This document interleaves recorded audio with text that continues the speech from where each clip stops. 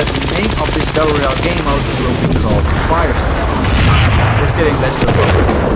Fight for your life is stable, solo, duo, or Okay, so this is pretty epic. If you remember correctly, initially it stated that Firestorm would be only supporting squads. No solos no duos. I'm really, really happy that they listened to us and added duos and solos because that in mode. That's my you will begin each game by parachuting into the vast Okay, so we start off like in other Battle Royale mode, parachuting into the open. Pick your landing spots carefully. Landmarks can be rich and loot, full of.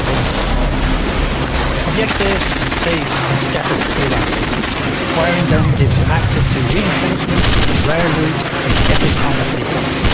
Okay, so this is the first thing that really sets Firestorm apart from all the other games. You actually have objectives within this game mode that you can capture, let's say, score points, reinforcements, better loot, vehicles, which is pretty awesome you.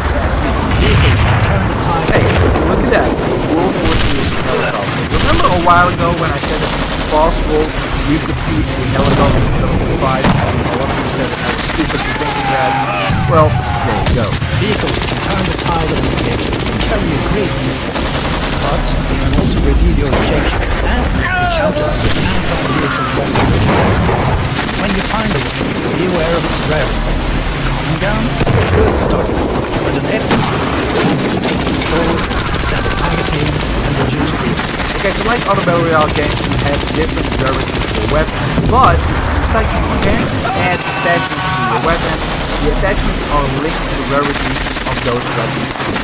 I believe I'm not sure. Each weapon class uses its own ammunition. You can only carry a amount, so manage your inventory wisely and share your loot amongst yourself. Okay, so the different ammo types, we already know about that. The reason these have to be everywhere already. But to come back to different rarities, like I said, it looks like you can pick up attachments from the ground and your weapon. You know, maybe with sights and different but just pick up different of the particular weapon rarities. Again, I'm not entirely sure, let's continue. Throughout the map can expand your inventory allowing you to carry more weapons and gadgets. Firestorm is. There are no bonuses. Okay, so you have a backpack system like in Apex Legends and PUBG, nothing too special. I am curious though to see what the inventory system is going to look like in the console. Hopefully to the Apex Legends inventory system because that works pretty much flawless. If you're down, you can still fire a sidearm be revived by allies. Once you bleed out or finish off, you are out of the game. Okay, now that, that is pretty insane. If you are down, you still have your sidearm working. Again, a big difference compared to other Battle Royale games. That means that downing an enemy doesn't necessarily mean that there is no longer a threat. In fact, a downed enemy can still shoot around. So that's gonna be pretty cool. I reckon we're gonna see a lot of insane plays. There are no second chances in fight. Scavenge. Fight. Survive. then some more awesome Guys, I gotta admit, this looks incredible. I must say, I didn't really have high hopes for this game, considering the fact that the main game has a fair share of issues itself, but I'm really excited for this. One thing this trailer doesn't show us is the pacing of the game, which is very important. For example, Fortnite and Apex Legends are very fast-paced Royale games, Call of Duty Blackout are very slow paced. So you will see where on the basic spectrum it will fall.